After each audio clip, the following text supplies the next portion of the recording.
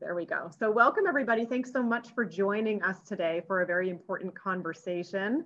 Uh, I'm Heather McGrail, the Greater Manchester Chamber Membership and Community Partnerships Director. And I'm very pleased to be hosting a program about the Recovery Friendly Workplace Initiative. Uh, our chamber recently became designated as recovery friendly, um, uh, as a recovery friendly workplace. Uh, and we have had such a wonderful, um, eye-opening impactful experience uh, that we really wanted to bring this to the business community as much as we can and really help to um, enlighten everyone about what it really is about.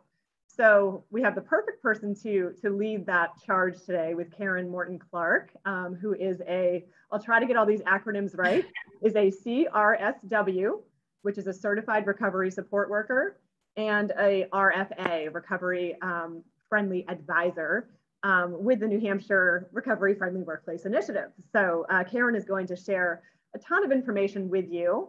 Um, let me just admit a few more. I can never do two things at once.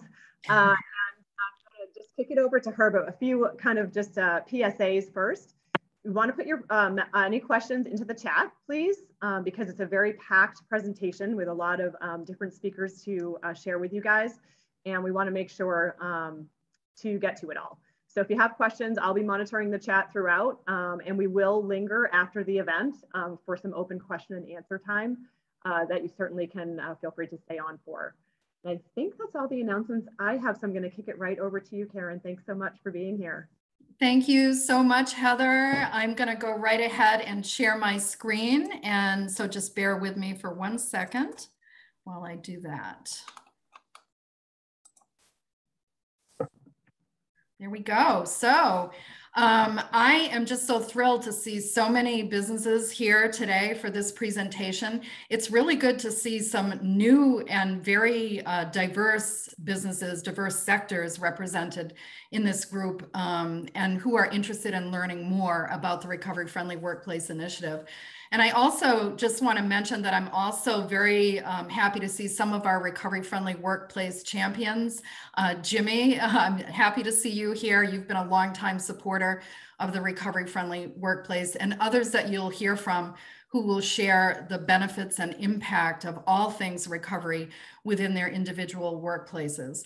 I'd like to uh, thank Heather and the Greater Manchester Chamber once again for this opportunity to present uh, to you today on the recovery friendly workplace. And my hope is that at the end of this presentation, we'll all agree that this initiative is good for employees and also good for your business. So with that, I'm gonna roll right into it. So I'd like to start out with um, the, the American Society of Addiction Medicine definition of substance use disorder. And this is uh, something, substance use disorder is something you'll hear me and others reference quite a bit in this presentation. So I just like to frame it with the definition that the American Society of Addiction Medicine adopted in 2019, which is to say that addiction is a treatable chronic medical disease People with addiction use substances or engage in behaviors that become compulsive and often continue despite harmful consequences. And they also note, and I think this is really important, that prevention efforts and treatment approaches for addiction are generally as successful as those for other chronic diseases. So with that, and especially for the benefit of some of the uh, businesses who are new to the recovery friendly workplace movement, um, I just wanted to share that the initiative was launched in March of 2018 by Governor Sununu.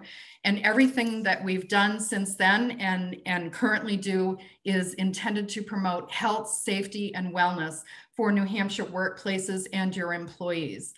We also strive to empower workplaces to provide support for employees in recovery, as well as those impacted by substance use disorder. And so, what I mean by that is there are employees that are in your businesses that may have family members or loved ones who have struggled with substance use disorder or mental illness. And we look to also uh, support that employee in trying to support their loved ones.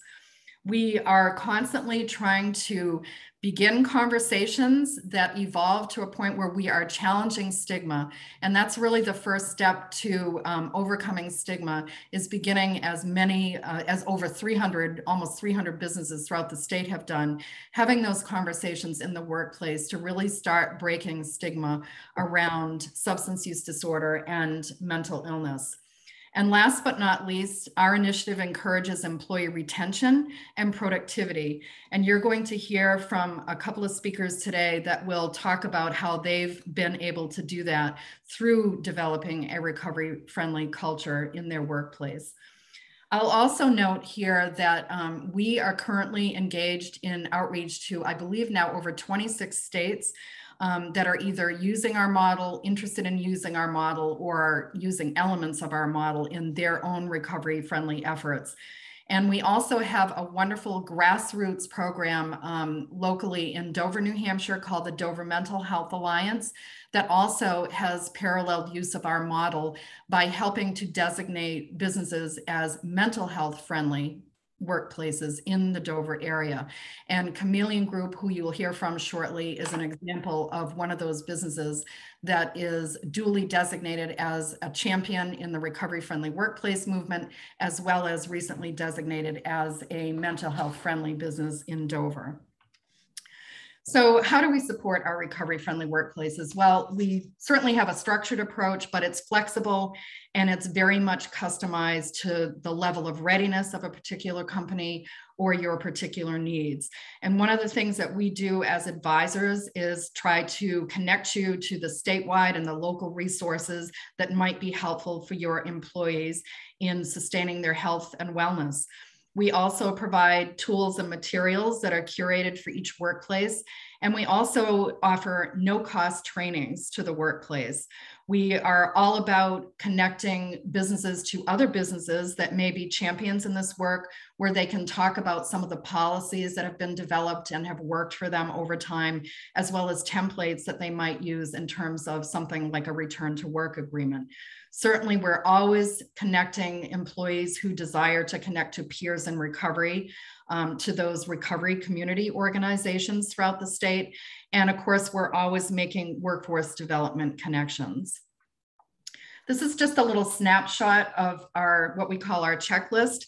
Um, the first thing that would happen for a business that's interested in learning more than what I'll be able to present today about the initiative is to submit a letter of interest. And I've asked Heather to put the link to that letter of interest in the chat. So you can just click on that and complete that if you're interested in hearing more and receiving a full orientation uh, from one of our advisors.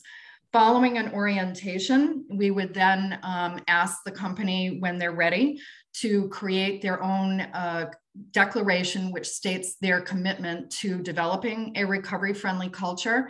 And that is normally shared with all employees, after which we do um, ask that the governor um, sign a certificate um, and officially then they would be designated as a recovery friendly workplace. And that sort of starts the clock to a year following, where the advisor would be speaking again in more detail with representatives from a particular company or organization, or even a city or a town. I actually work with the city of Manchester, city of Nashua, and the town of Raymond now, which re recently became designated. So it might be a, a, town or a city that would be designated. But we're always looking to provide um, information, resources, connect to recovery organizations and provide those no cost trainings that I mentioned earlier, as well as we always want to entertain what ideas the company might have um, to further develop their recovery friendly culture and support their employees. This is um, just a good view of our current trainings that we offer. Um, while we can right now do some of them in person, we also can do all of them online and many of them are self-paced. So I just wanted to share that with you. And certainly if you have any additional questions about our training or anything in this presentation, you can email me at karen at recoveryfriendlyworkplace.com. I do want to make mention of a new training opportunity that's coming up next Wednesday on October 6th. And this came about as a result of a survey that we did with the city of Manchester in which it was identified that they wanted to have more resources around how they could become more resilient with regards to compassion fatigue and stress. So this one is called You Have More Power Than You Know. It'll be from 12 to 3 next Wednesday. And one of the key objectives um, that the um, instructor, Ginger Ross, is looking to have people walk away with is their own 411 plan to adopt new behaviors to reduce that compassion fatigue, burnout, and stress. So again, if you have a desire to sign up for that, again, a no cost training um, for anyone, really, it's really appropriate for anyone, feel free to email me. So um, I wanted to just talk briefly about more about why should employers get involved. Well, first of all, you're already employing people with substance use disorders. You just may not know that. And I know Dana's going to touch on that when he speaks. Um, there are over 135,000 people in recovery in New Hampshire. And across the US, there are over 20 million people, which is about 10% with actual substance use disorder. Yet it's important to note that less than 15% of that 10% receive any kind of treatment. So what we know is work is where we reach a very large percentage of people. And this is an opportunity for us to really um, use uh, resources and and connection and conversation that removes stigma to um, help uh, really impact the impact of substance use disorders and help people to sustain their recovery um, while they're you know in their lives. Um, and of course, talent retention, as I'm sure many of you know, I see many um, industries here that I know are um, really looking to fill some open positions. And so talent retention is a really good reason um, for this initiative to take hold because one of the things that we offer are templates on return to work agreements where if somebody is struggling, they can actually have an opportunity upon an agreement with their employer to return to the workplace um, and still continue purpose um, through work to sustain their recovery. There are all these additional benefits of addressing substance use disorders in the workplace. And again, I'm going to defer to um, the presenters that I have arranged for you to talk a little bit more about them. So another great reason for um, employers to um, be getting involved with this initial uh, initiative is the cost of substance misuse in New Hampshire. As you can see, it's pretty large, 2.36 billion, and out of that, 66% or 1.6 billion is lost in productivity. So by supporting individuals in their sustained recovery, we can actually reduce those numbers. I want to talk a little bit about um, sort of a changed landscape that has occurred since, um, since COVID. Um, and what this shows, and I'm going to comment a little bit more on it, is that um, during late June of 2020, 40% of US adults reported struggling with mental health or substance abuse. And there was actually, actually an article that appeared in 2021 where it stated that Americans are using alcohol to cope with pandemic stress and that nearly one in five report heavy drinking. There was also a study by the RAND Corporation last fall that found the frequency of alcohol consumption in the US rose 14% compared with before the pandemic. Also, according to the Centers for Disease Control and Prevention, as of June 2020, 13% of Americans reported starting or increasing substance use as a way of coping with stress or emotions related to COVID 19. Overdoses have also spiked since the onset of the pandemic, and another reporting system shows that the early months of the pandemic brought an 18% increase nationwide in overdoses compared with those same months in 2019. The trend has continued through 2020, and according to the American Medical Association, which reported in December of 2020, more than 40 US states have seen increases in opioid related mortality, along with ongoing concerns for those with substance use disorder. So um, this really shines a light on the importance of looking at recovery as not just related to substance use disorder, but related to mental health and other things that go along with it. And you'll hear shortly about how a couple of employers have addressed it um, in that way, in, the, in looking at diverse areas of recovery in the workplace. This is um, just a quick example of um, something from the National Safety Council site, which some of you are probably familiar with, nsc.org. And what this shows is that workers in recovery help employers avoid over $4,000 in turnover and replacement costs. Workers in recovery actually miss 13.7 days less per year than workers with an unaddressed substance use disorder. And each employee who recovers from a substance use disorder saves the company over $8,500 on average. You can actually go to this site and there's a a substance use calculator in which you can enter your own industry and kind of pull up uh, averages for your own company, which many have done and have found interesting. And it's actually propelled some companies to move forward to become a recovery friendly workplace. So, what can employers do? Um, through the partnership Recovery Friendly Advisor, um, we would do a needs assessment and determine level of readiness of your particular organization to move forward um, to become a recovery friendly workplace and continue to develop that recovery friendly culture. And today we're actually going to hear examples about all of these things on this list from our recovery friendly workplace champions um, about things that they do that actually support concepts on this list.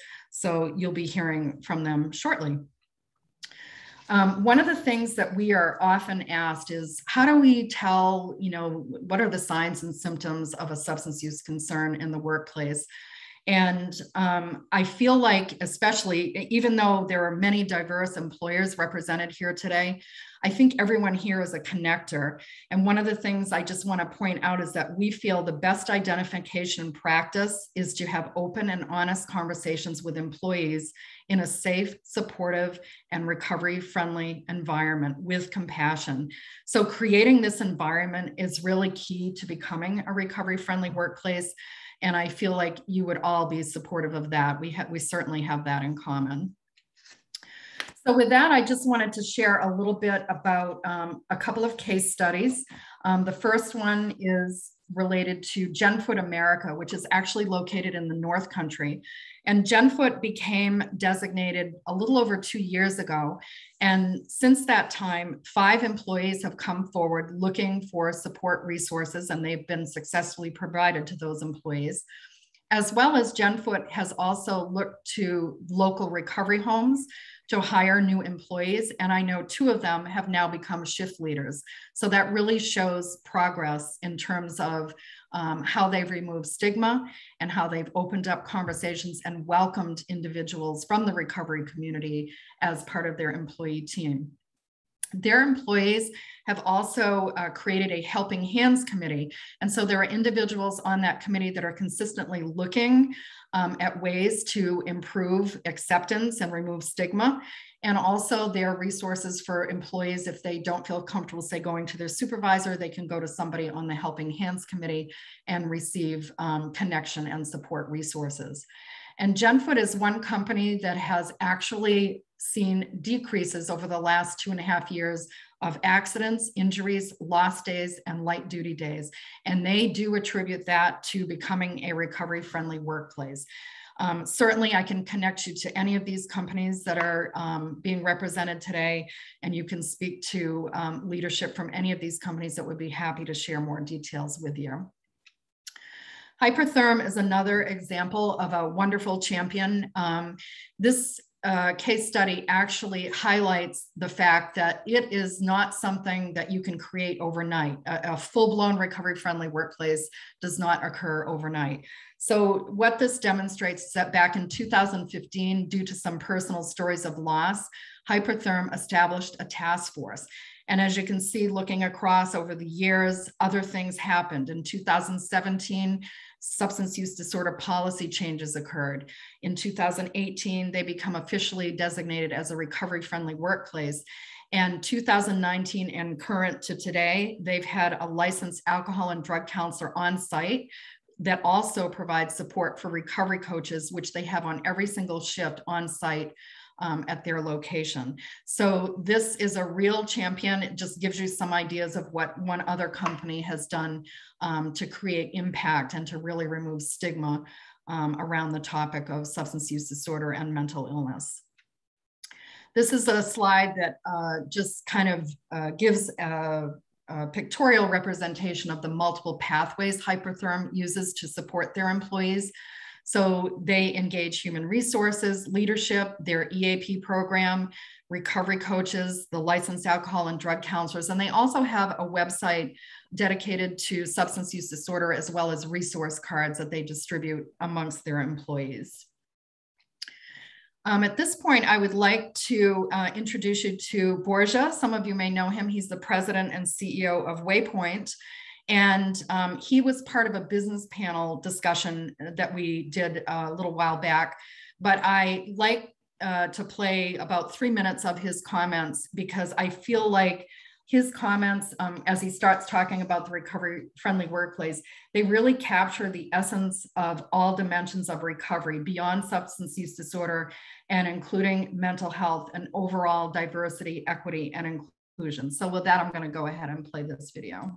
We're sort of in the space as a provider of social services where we um, we deal with people that are in recovery all the time. Um, we work with the um, homeless youth population that um, have been impacted by this uh, a lot. We work with moms and their young kids, and a lot of them are in recovery, and we get involved with them because they're in recovery. Uh, we also work with uh, foster care, and oftentimes uh, kids get placed in foster care because their parents can't take care of them. Um, and one of the things that we do in our business is really help these individuals and families sort of like, you know, get better, recover, get back on their feet.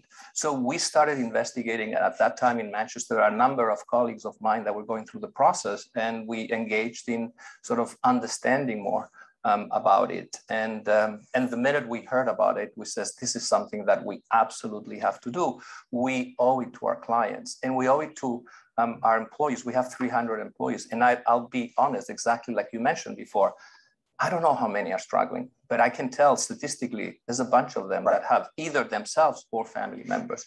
Um, so I think it's an important journey for us. I've never heard anybody say, you know, I'm struggling with substance abuse, or my spouse is sort of in detox right now and I have to take. So obviously, it is not culturally a conversation that we know how to have in the workplace. And I think that's so wrong. And I think uh, what I want to do is move to a culture in which it is okay to talk about this because it happens everywhere. For us, and again, we started right before COVID, we had conversations, and um, something became clear to us that um, the focus on sort of recovery friendly workplace was very important, but we wanted to be inclusive of all kinds of recovery. So for example, mental health, which is really prevalent in some of the people that we serve. It was important for us to include that. And then uh, May 25th happened and George Floyd was uh, murdered. Um, and there was an outcry um, in my agency, what are we going to do about this? So we um, diverted ourselves and we actually, Sam was really helpful in, in sort of coaching us because the initial was, okay, we're gonna be about recovery. And then we make this much bigger uh, claim around um, uh, racial equity and diversity. So our declaration is actually much more extensive than most declarations because we're like throwing everything under the and that it's all about this. But what we did is we formed a committee, the 16 people that actually, and I started the committee, but I said, I want to start the committee because I'm the CEO and I want you to understand that I'm behind this. But I really want to empower this committee to make the decisions. And if I'm there, it's going to be really hard. So actually, I have removed myself now from the committee. And the committee is designing a survey, is designing the trainings that we're going to have, is going to put a, a, a plan in place. And they have been empowered in the organization to actually take the leadership and the charge of, uh, you know, changing the, the culture for us we've been actually very lucky that there's a, a pilot program. Um, it's out of the um, Hypertherm uh, Foundation, the Hope Foundation. And so um, if you would like to hear more about Borja's presentation, um, you can actually uh, request a link from me, as well as you can view the whole business panel discussion on our LinkedIn page. So at this time, I would like to introduce uh, three recovery-friendly champions that have graciously agreed to share their experiences with everyone here today. Um, first, you'll hear from Dana Lariviere, who is the CEO of Chameleon Group in Dover. And then you'll hear from Caroline Consoli. Uh, she's a human resources business partner with the Mental Health Center of Greater Manchester. And then you'll also hear from Randy Stevens, who is a CRSW and a peer support specialist for ProHealth, which is part of the Mental Health Center for Greater Manchester, as well as he is a member of the Manchester Rapid Response Team. So with that, I'm going to stop sharing my screen and I'm gonna have Dana take it away.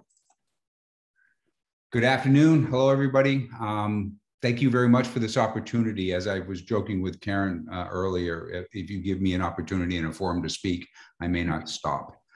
Um, and I'm especially passionate about this particular topic. Our company is about 20 years old, and we are in uh, in Dover, New Hampshire. Um, we're a call center. Uh, we employ roughly between 40 and 50 employees at any given time our journey started back in uh, about 2016 timeframe and was really born out of necessity. Um, we had employees, as most businesses um, who have a variety of backgrounds, um, and we had one particular employee who was not a very dependable employee. Um, and ultimately, that's not a that's not a remarkable thing for our uh, company. Um, there are people that are more dependable than others. This employee eventually we terminated for not being very dependable, and that was the end of that. Uh, two years later, we got contacted by that same individual looking for to get their job back, and we found out through our conversations that the reason why this individual was undependable was she was hooked on heroin when she worked for us. Um, that really, and again, I'm the original person that I'm probably not your traditional person in the workforce that would you would think would be attracted to this initiative. I was the original person that said, "Listen, that's their issue. They did it. It was their choice to do it. Um, let them figure it out." Um, but as I was speaking with this individual who had become a recovery coach and was sponsoring people, I, I was I was really caused to pause and think about what it is that that all means and, and do people really deserve a second chance? And we've been very fortunate in our company and our organization that we've had a long tenure and been able to do this for quite a while. And we kind of looked at this as an opportunity to engage in conversation with an individual to find out their personal story. Um, we made a determination i made the determination to bring her back on board which was in direct opposition to all of my policies um, all my policies said if somebody is let go for being unreliable, they don't come back. So then I had an issue. I had to go sell it to my management team, right? Because here I am trying to convince them to do something that I said we weren't going to do. And I also had to tell them that we were going to be hiring somebody who was an addict. Um, and that's where we began, where I began to really start to get an understanding that we were going to need some help and support because the people that were my managers, were my friends, had been my trusted associates for years and years, had sort of thrown up that stigma wall right away. Um, do we really want somebody in our organization that's this, or what if they do that? And and it became apparent to us very quickly that there was no there was no employee handbook that was going to deal with this. There was nothing we looked around. There was no path for us to be able to go figure it out. And around that time was also the time when the state of new hampshire's unemployment rate was plummeting.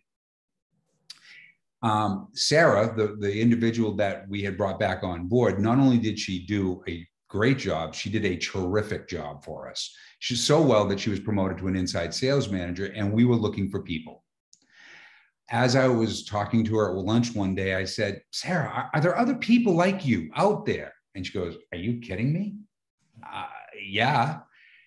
So I said, Well, how do we get them? How do we talk to them? I'm thinking here I am being a pretty clever business guy that I'm going to go out there and approach some people that maybe other businesses don't want, which I'm going to tap into this pool of folks. That's kind of how Karen came into the story because Karen at the time was working for a recovery agency and we were introduced and we said, okay, this is what we want to do. We want to recruit, we want to talk to some people, we need a policy, we need all this other kind of stuff.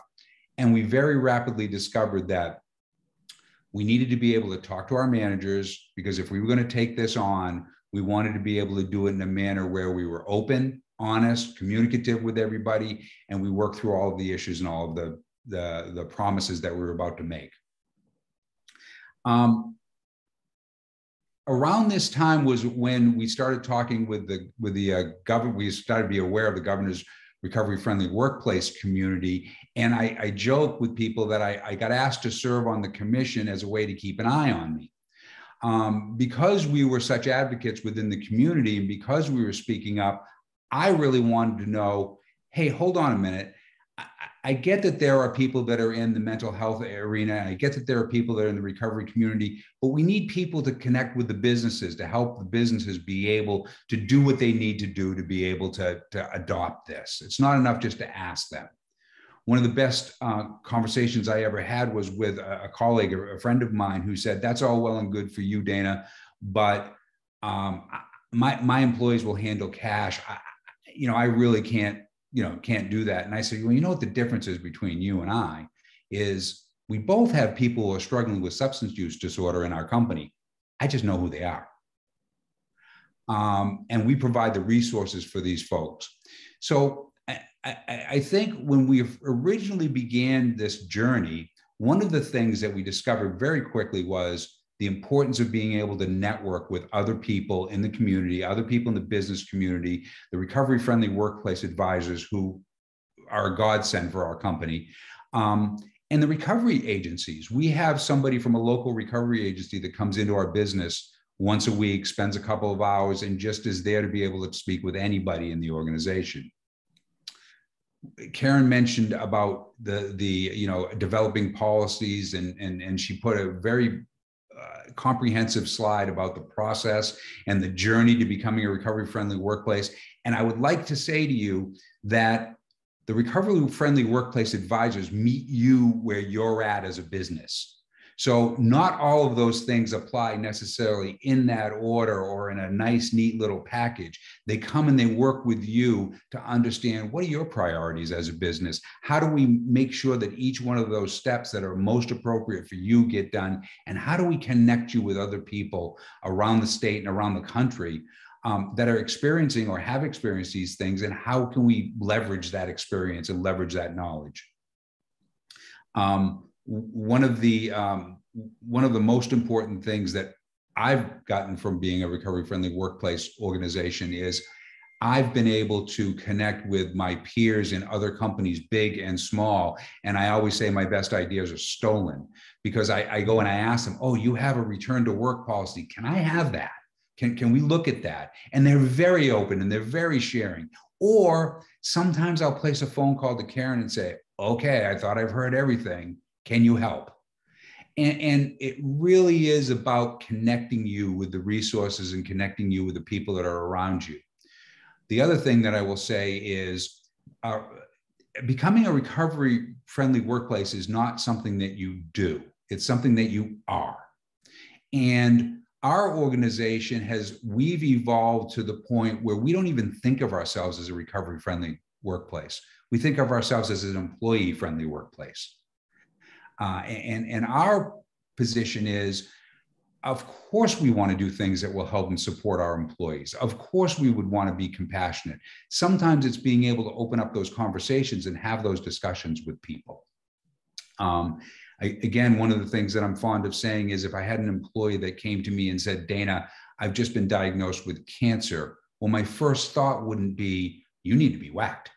You, know, you need to go. No, it would be, what can we do for you? How can we help you? Oh my God. Um, so today, as we stand here today, uh, we actively recruit uh, people who are in recovery. We actively recruit people in recovery. Also, as we stand here today, we have better and more open conversations with all of our employees, not just the people who are in recovery, all of them. And we learn this from our experience with the recovery friendly workplace because almost no topic is taboo. They know that if they've got an issue, they've got a personal issue, they've got a mental health issue, they can come to our management team and they're going to be listened to. That doesn't mean that we're not going to have people be accountable. That doesn't mean that we're going to, uh, you know, just do whatever, but it means they'll have a forum. They can bring it to the management team. Um, the other thing that I will, will say is that we have it is it is engendered unbelievable loyalty with our employees, especially people that are in the recovery community, because people will say, You gave me an opportunity, you gave me a chance. I've had people say, This is the first time in my adult life that I haven't had to lie on a resume. Um, or I haven't had to explain these giant gaps in my resume um, as to what was going on. And, and we mean it. We, we actually, we went from the early days of saying, gosh, I don't know if I want to let anybody know that we're recovery friendly, to we wear it as a proud badge and we we lead with that. We lead with that with my customers and my prospects. We lead with that with our employee prospects. And, and, and we believe that being a mental health friendly workplace is not remarkable. It dovetails into exactly what we're trying to do as a culture and as a, a corporate ethos. I'm going to take a breath now um, and see if anybody has any questions or if there's any uh, anything else, any other place I can go, Karen. Dana, I so appreciate um, your insights as always. And um, if it's, um, I think it's probably a good idea to move on to Caroline. I know I can see people are putting questions in the chat, so we will address those as soon as Caroline and Randy have an opportunity to speak. So thank you again, Dana. And with that, I'll turn it over to Caroline. Thank you so much, Karen. Hi, everyone. I will try to keep my comments brief. I want to make sure Randy has some time to speak as well, because he's really going to be um, expanding on a lot of the things that I'm mentioning. Um, but I'll start with just telling you a little bit about the Mental Health Center, and then I'll talk a little bit about my experience with us becoming a recovery friendly workplace and my experiences from a human resources perspective. Um, so the Mental Health Center of Greater Manchester is a nonprofit community mental health center. Um, we've been around for over 60 years and we currently have over 450 employees. And I always like to say that um, in terms of what sorts of services we offer to uh, folks in the community, um, we offer pretty much any mental health service you could possibly think of. We have um, departments who are devoted to um, both inpatient and outpatient services. We have quite a number of community outreach services. Um, so our mental health professionals are going out into the community um, to meet with clients with whoever they may be. Um, we have crisis intervention uh, departments as well to see people who are experiencing uh, mental health crisis right in the moment. I could go on and on, but I'll cut off the list there. Um, but we do have quite a um, variety of services that we offer. And I think uh, we as a company were um, fairly fortunate um, in the fact that our mission, our vision and guiding values, they're already geared towards um, promoting recovery and wellness and um, eradicating stigma around mental health and addiction. Um, so when the opportunity to become a recovery friendly, an official recovery friendly workplace came to us, it was kind of a no brainer um, because we thought we're really already doing a lot of these things and holding these philosophies um, in terms of our clients. And I think it was kind of implicit that those same philosophies carried over to employees, but it was never really officially stated. Um, and I think it was really important to kind of officially state that and acknowledge that uh, we are um, promoting recovery, not just among our clients, but among our employees and our staff members who are working with our clients every day.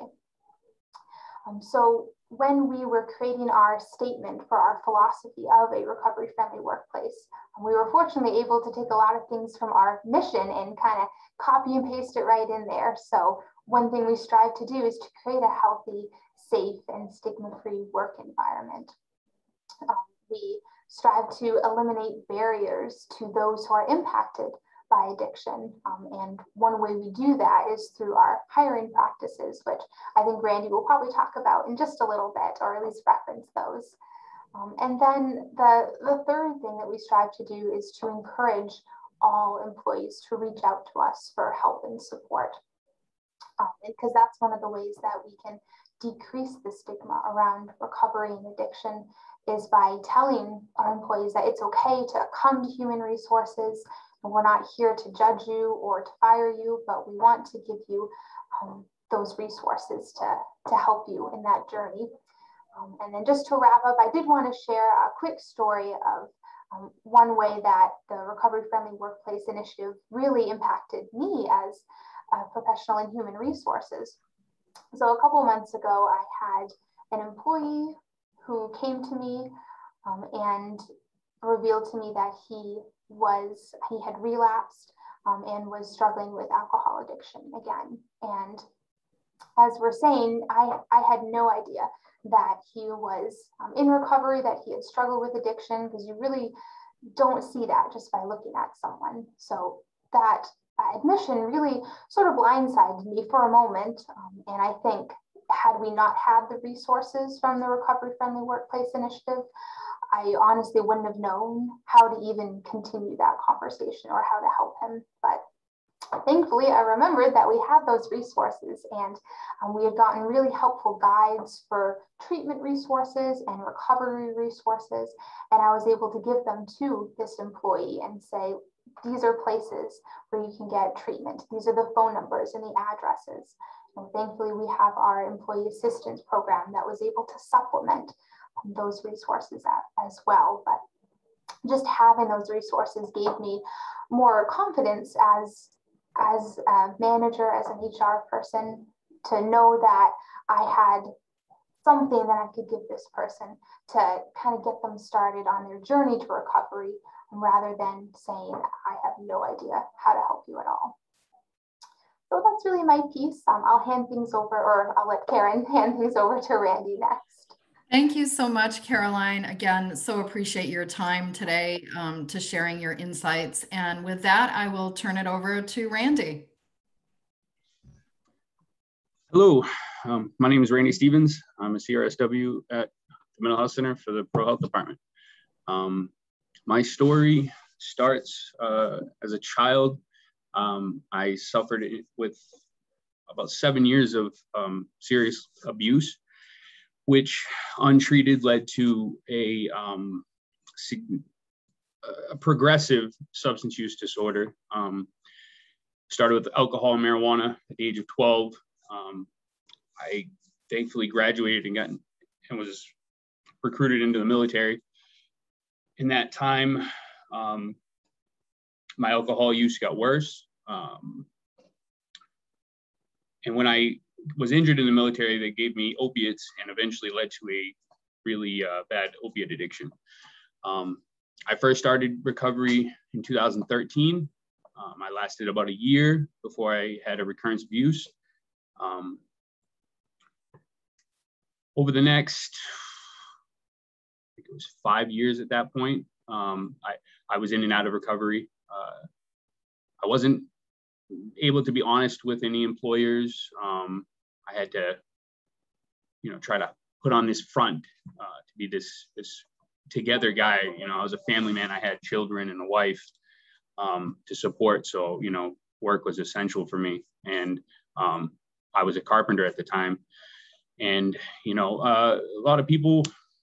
I mean, there's a lot of substance misuse going on in that field, but it's not it, it's swept under the rug and not talked about. And you know, if you have a problem, you're fired and let go, and more, and you know, people move on very quickly.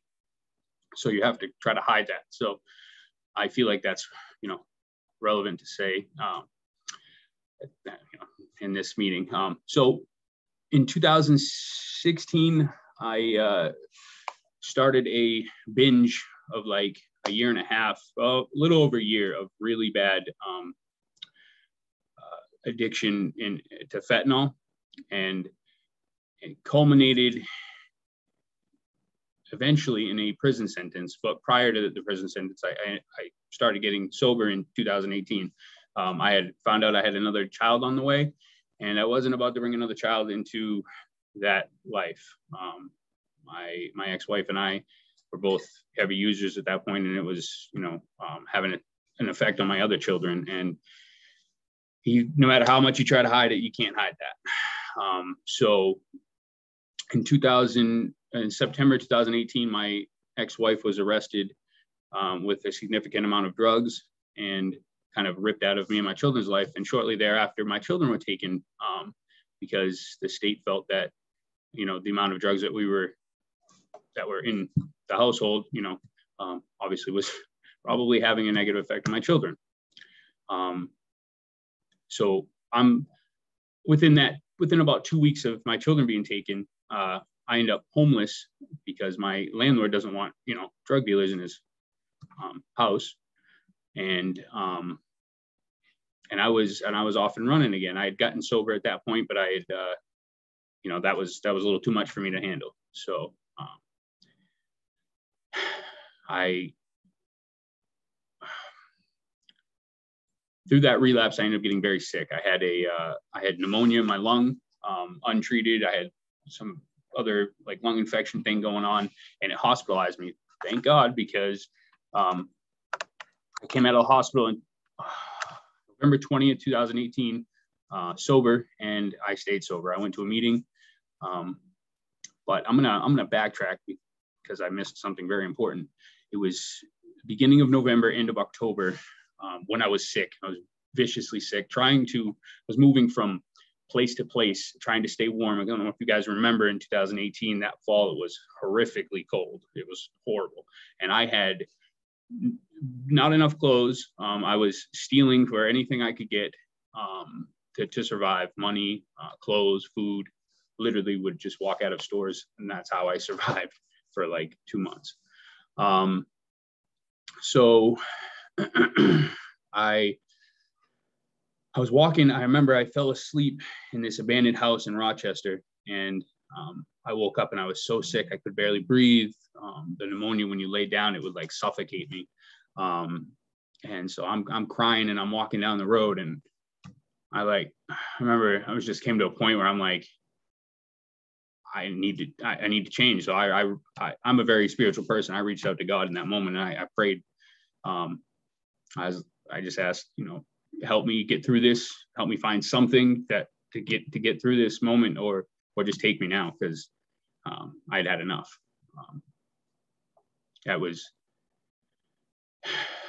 that was uh, about an hour before my mother before I found a phone to use. Um, I wasn't in the best shape at the time, so it's kind of not surprising that many people were like, you know, weren't running right over to try to help me. You know, um, it's probably a little scary, uh, strung out and uh, um, very sick. So uh, someone did help me though. They gave me a cell phone. I called my mother, and my mother hadn't answered in many months at that point. And um, she answered, and she sent my sister over to get me at a at a, um, a business. I forget it was a pizza place or something. And they brought me to the hospital, and that's when I got to the hospital. And I stayed there. They fixed me up. I had surgery in my lung. Um, had a, a, bunch of fluid removed. Um, and come out 11 20 2018 and i was um, sober and went straight to a meeting my mother brought me to a meeting um, and my daughter was born 18 days later i was sober and i don't know why i'm so emotional in this. It's not the first time i've told this story. Um, so she was excuse me. She was born to a sober father and uh, very grateful for that. 13 days after she was born she was born addicted. My, my ex-wife uh, was on methadone in, in uh, jail. And so she was like this is a big motivator for never going back to that lifestyle again. Uh, she was little little tiny thing and she would sleep on my chest and shiver and it was like the worst thing to watch for your child And so, excuse me, 13 days after she was born, the federal government decided that was the time to take me off the street and um, arrested me for something that had happened like six, seven months earlier. Uh, someone had gotten arrested and decided to say that the drugs were mine. Um, I never knew about it. I you know, my my wife getting my ex-wife um, getting arrested had very little to do with me at that time, so I didn't know that was coming. Um, so uh, I got to jail and Strafford County. I'm sitting in the holding tank, and I'm like, man, this guy this guy came in with me. He had uh, fentanyl. He's like, you want a line? Um, and I, I'm not sure at that point what exactly went through my mind, but I was the first time out of you know now many times that I was able to say no, um, with it, you know, right in my face, and I decided, you know, that pretty much within that time, some some point very close to that, I was like, I was done. I was I need to do something to figure out, you know. So I started um, programming. I did my own program. Strafford County is actually surprisingly really recovery friendly. Um, they had yoga master come in uh, once a week who taught yoga. That was beautiful, um, very peaceful and relaxing. And that's this was in general population, mind you. So for three months, I was in general population, just programming myself, reading everything I could, crying every day.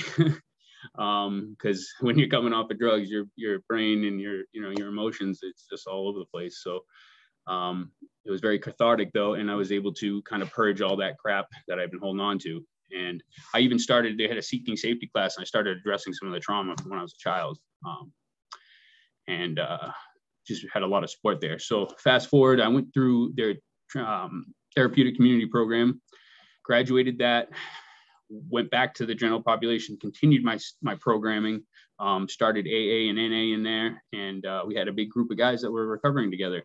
And it was kind of the beginning of learning that I really enjoyed being a part of people's journey and um, mentoring people. Um, so I went to the feds, and by kind of luck, I was put right into um, their their residential drug and alcohol program in the BOP, and within a month of being there, I, I don't know if it was just evident that I'd been you know doing recovery and um, Well, so they, they had me mentoring within a month. And so I spent the next 17 months as a mentor in that program. I graduated that program. And uh, when I got out, I remember in that program, I'm going, I want to do something with this. And I, I'm thinking like, nobody's going to hire me because I'm, I have a record longer than I am tall. And I'm six one, by the way. So it's significant. Yeah, you can ask Caroline, she knows. so um, I yeah so i i'm like okay well at least i'll be a really good sponsor for somebody you know because i've learned all this information and i know all this stuff and like you know and i loved helping people um and it, uh, i was voted as a at our graduation i was voted most likely to start an aa meeting um so that being said, I get out and a friend of mine worked for Pro Health. She works through a, um, one of the people we collaborate with. She's a uh, primary care physician for Amoskeag, and she told uh, Margaret, my boss over here, that you know that I just gotten out and um, that I was because they were looking for a peer. I didn't know what a peer was, but she calls me and she's like, uh, "They're looking for a peer over there," you know, and she told me how to how to apply online. And I was like, "Okay, that sounds cool." I mean, you know, do they know, you know, that I just that I'm I'm in the halfway house? I still I'm still in prison technically. And she's like, "Yeah, yeah, they they still want you." I'm like, "That's it's crazy. Okay, let me give it a shot. So I I got in, I got in, online, did the did the application. I got here for the interview, and I said that I was like, you realize I'm in I'm in the halfway house, right? I'm still incarcerated. And they're like, yeah, yeah, your lived experience is what we want. I'm like, hmm, okay, and you're gonna pay me for for this, right? like this isn't a volunteer job, you know. Um, and I was like, I, I remember sitting at the interview and just like blown away by how like warm and welcoming and kind this woman was and this this clinician that was with her um and how like like open they were and I was able to be honest and just tell them everything and I didn't have to hide anything and they gave me a second interview. At that interview they were like you know how would you feel about working here? I'm like well I mean it sounds like a really great place for anyone to work I, especially me you know? Um I guess you go through you know you suffer an addiction for so long you don't feel like you're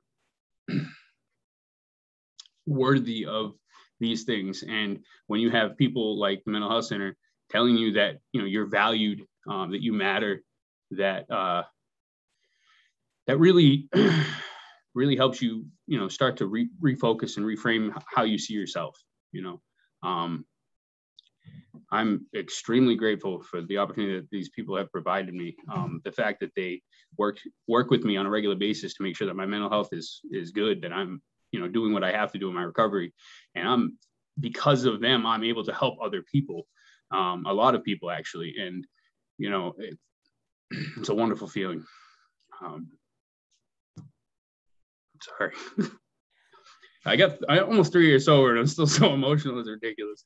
Um, so, okay. So, yeah. Randy, I'm just going to give you a break and say something. You're a beautiful, beautiful person. Uh, the fact that you're on here with it's probably why you're so emotional. It's a different group, right?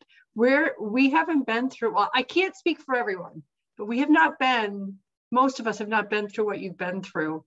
So to speak to a group like this is very different than speaking to an AA meeting or a Narcotics Anonymous or all these other groups where they were leading to you and you guys probably have the same language and the same, you guys just have this, this connection, right?